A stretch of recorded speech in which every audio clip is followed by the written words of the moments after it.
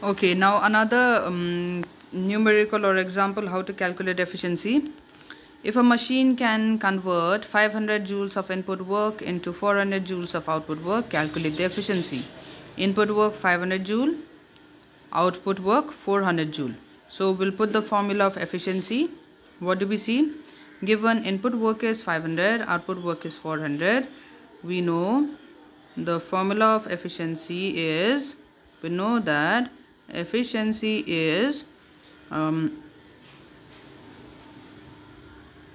output work input work into 100 and percent. Or efficiency is output is how much?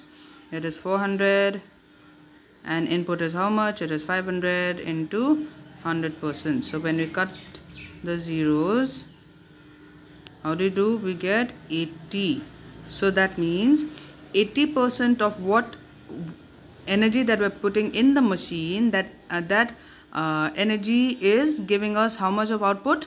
80% of the output okay? So we understand what do we understand by this 80 80 means it means out of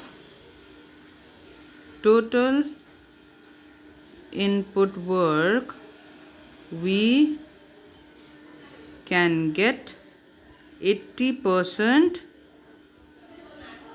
output work from the machine.